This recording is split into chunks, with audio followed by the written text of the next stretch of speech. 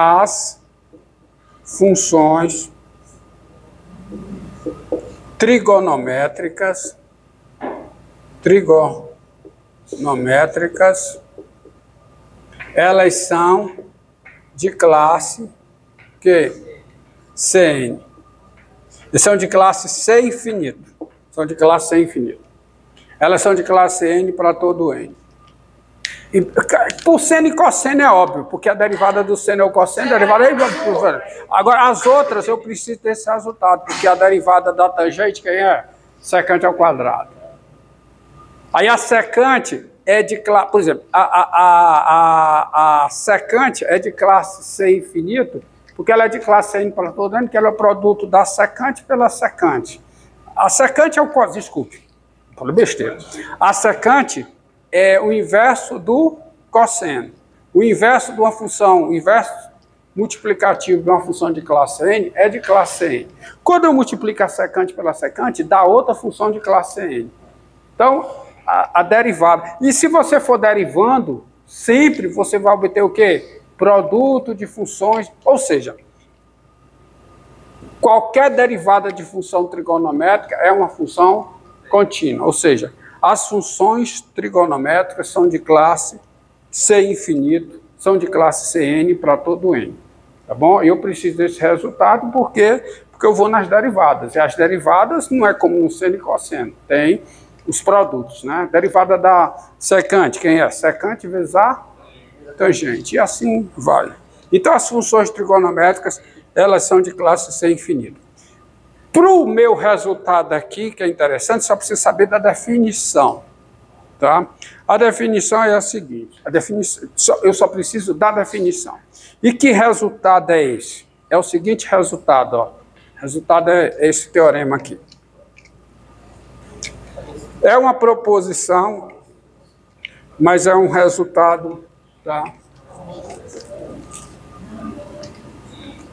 Importantíssimo no cálculo, para fazer conta, tá? Demonstrar resultado, que é o seguinte, ó, proposição. Silêncio aí, gente. Proposição.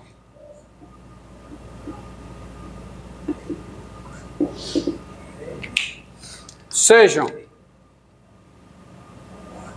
sejam, A e B reais, tá? Com A menor do que B e FG duas funções. Se a função G é de classe C1 no intervalo fechado AB, tá? Bom. Ah, é, eu, eu desculpe, desculpe que eu, eu falo, acho que eu mencionei uma besteira. É, se você já tem um resultado, desculpe, só uma correção, tá? É, as funções trigonométricas, seno e cosseno, claro que são de classe C infinito, tá? E, e, quando você pega as outras, elas são quocientes de funções de classe C infinita. Então, são de classe C infinita. O argumento é mais simples do que a baboseira que eu falei, tá? Deu produto. Claro, quociente de funções de classe Cn ainda são funções de classe Cn. Como seno e cosseno são de classe N para todo N, sai que tangente, secante, cotangente, então é tudo de classe N. Então, não precisa da baboseira que eu falei, nada. Mas aqui é o seguinte. Se G é de classe C1 no intervalo fechado AB e F, tá? Se G é de classe C1 no intervalo fechado AB e a função F, ela é contínua, ela é, de, ela é contínua. No intervalo é, no intervalo G de AB, no intervalo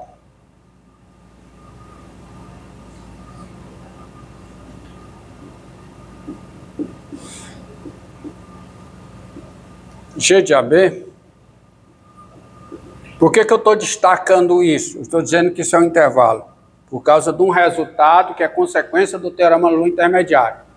Toda função contínua leva intervalo em intervalo. A imagem de um intervalo por uma função contínua ainda é um intervalo. Então, por isso que eu destaco. E a G é contínua é, porque ela é de classe C1. Se ela é de classe C1, ela é diferenciável aqui. Se ela é diferenciável, ela é contínua. Tá? E f é contínua nesse intervalo. Então, primeira conclusão é que quando você pegar f', tá? f composta com g vezes g', essa função é contínua nesse intervalo aqui, intervalo fechado AB, e a sua integral de AB que existe, quem é a integral dessa função? É a integral de quê? f de g de x, f composta com g em x é f de g de x, vezes o quê? g' de x, essa integral em x, vai ser a integral da função f em u de g de A a g de B.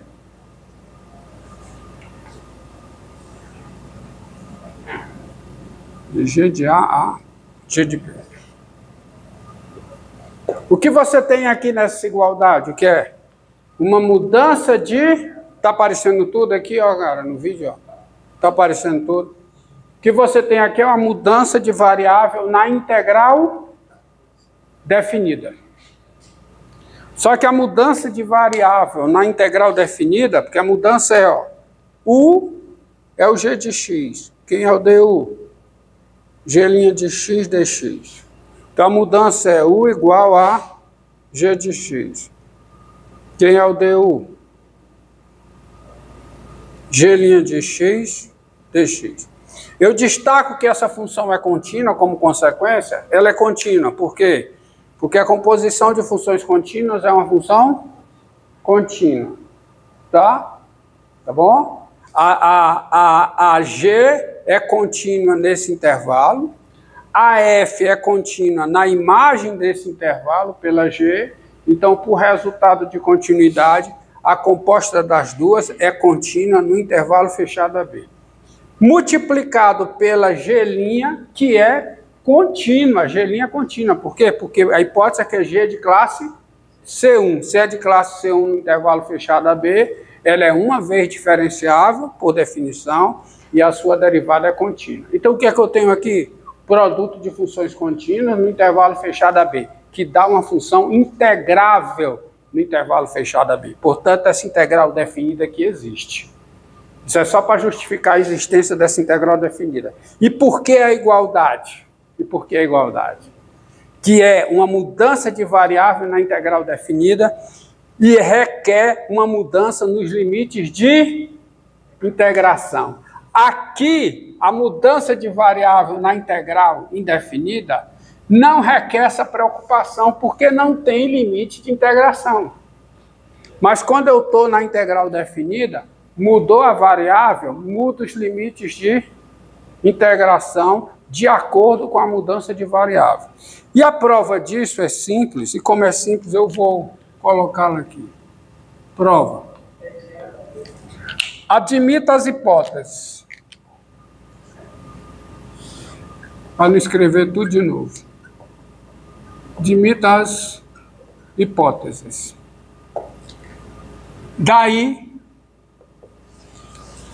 Sendo esse conjunto um intervalo, eu sei que é, e a f pequeno contínua nesse intervalo, pelo primeiro teorema fundamental do cálculo, a f pequeno possui uma primitiva nesse intervalo. Daí, a função f pequeno possui o quê? Uma primitiva primitiva F grande no intervalo imagem de AB por G. Tá certo? Logo, aí começa a brincadeira, ó. Logo, vamos partir daqui. Quem é a integral de AB de f de g de x vezes g' de x dx? Isso aqui vai ser a integral de AB. Quem é a f pequeno? A f pequeno é a derivada da f grande no intervalo g de AB. Então isso aqui vai ser o quê? Vai ser a integral da derivada da f grande, porque a derivada da f grande é f pequeno nesse conjunto. Então f grande que de g de x vezes g' de x dx. E quem é isso? É a integral de AB. Pela regra da cadeia, isso aqui é quanto? Isso aqui é a derivada de f composta com g em x, integral em x. Mas a integral definida da derivada é o quê? A função é uma primitiva da sua derivada nesse intervalo. Ou seja, a função f composta com g essa função aqui é uma primitiva da f composta dessa derivada. Essa função é uma primitiva dessa que eu estou integrando. Então, pelo segundo teorema fundamental do cálculo, isso aqui é isso. Mas quem é isso? É f de g de b, ou seja, é a f composta com a g.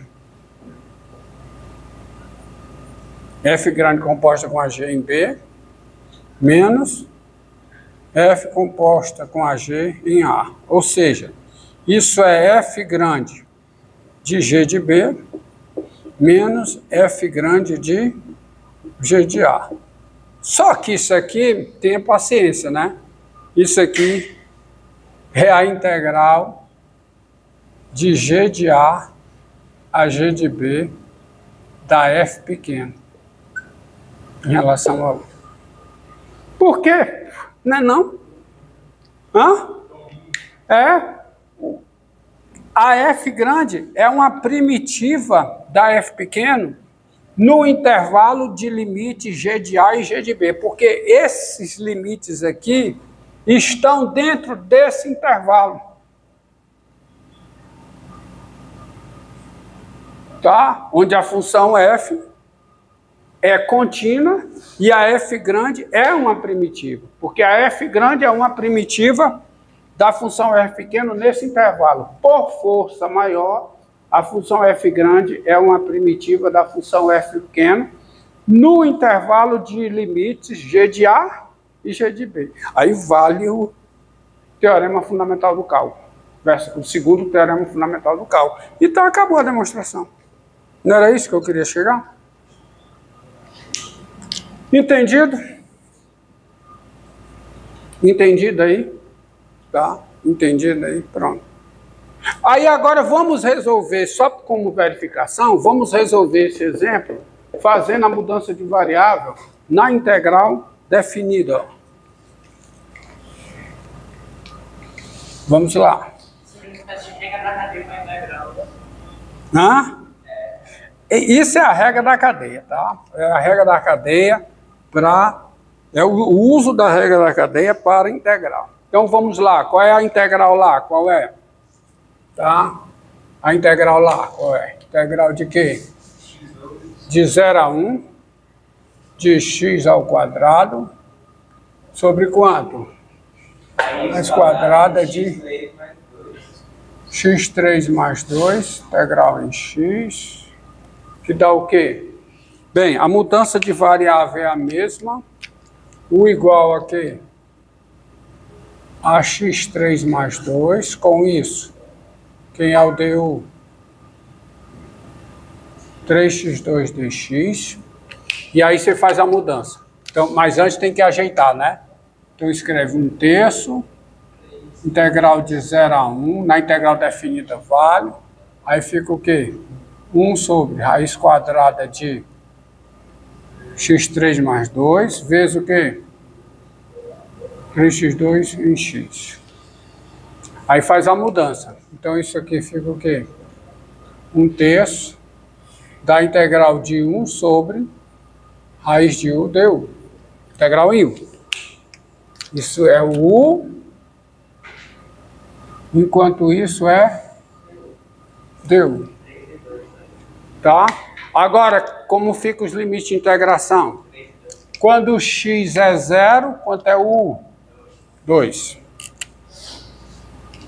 Quando x é 1, quanto é u? 3. E vai assim até final. Então fica a integral de 2 a 3 de u elevado a quê? Menos 1 meio. Quanto é isso? Dá um terço, né? Um terço de quanto? U elevado a 1 meio sobre o meio. Com U variando de quê? De 2 a 3. Então isso aqui dá quanto? Dá 2 terços da raiz quadrada de U com U variando de 2 a 3. Se você fizer a besteira aqui de voltar para x, você tem que mudar os limites de integração de novo. Tá certo? Aí cai ali. Tá certo? Então fica o quê? Fica o quê? Fica 2 terços de quem? Da raiz de 3. Menos o quê? 2 terços da raiz de 2. Como eu disse, é só uma verificação. As duas contas estão certas. Só que aqui eu, eu fiz o cálculo fazendo a mudança de variável na integral definida. Essa fórmula aqui é chamada de mudança de variável na integral definida.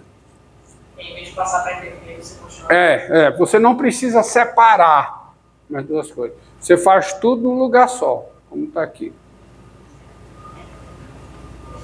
Entendido? Hum. Vejamos mais um exemplo.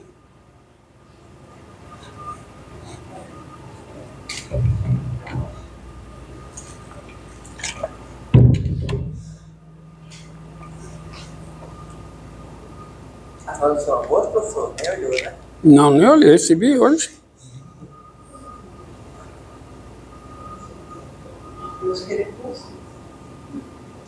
Eles faltam bolinha lá atrás. Hum. Pronto. Ó.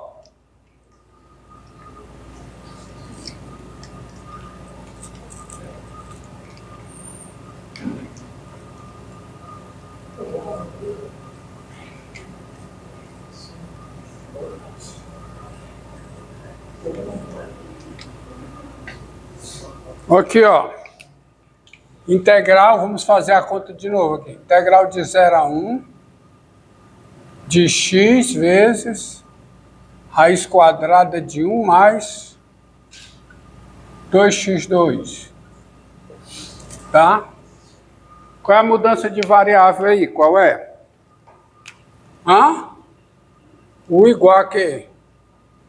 1 mais 2x2. Veja que essa integral faz todo sentido. Né? O domínio é reais, a função é contínua. Com U igual a 1 mais 2x2, quem é o DU? 4x dx.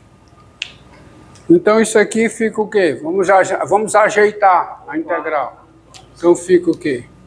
1 quarto da integral de quem? Raiz de 1 mais 2x2 vezes 4x integral em x de 0 a 1. Tá? A da, a- o ajuste é para isso ser o U, enquanto isso é o deu. Portanto, isso fica o quê? Fica o meio da integral de quem? É um quarto, não. É um quarto, um quarto, um quarto, um quarto. E o meio. Um quarto. Multipliquei por quatro. Obrigado. É um quarto. Tá? Um quarto. Aí fica a raiz de U em U. Integral da raiz de U. E como ficam os limites? Hã? Quando o x é zero, quanto é que vale O U, 1. Quando o X é 1, quanto é que vale o U? 3. Tá? Muda, muda os limites de integração de acordo. Porque fica x igual a 1, 1 mais 2, 3, x igual a 0, dá 1. Então fica o quê? Fica 1 quarto da integral de u a 3, de u elevado a 1 meio, integral em u, que é quanto? Que é 1 meio de quanto? U elevado a 3 meios sobre 3 meios de 1 a 3. Quanto é isso? Vai ficar. Não, eu, pensei que eu, estava errado aqui. Oh, meu Deus. É. É o quê? Que um meio? Um quarto. Né? É um quarto vezes três. Quanto é que dá a conta aqui? 4 vezes 3 meios. Quanto é que dá? Dá 6. Então fica um sexto, tá? Hã?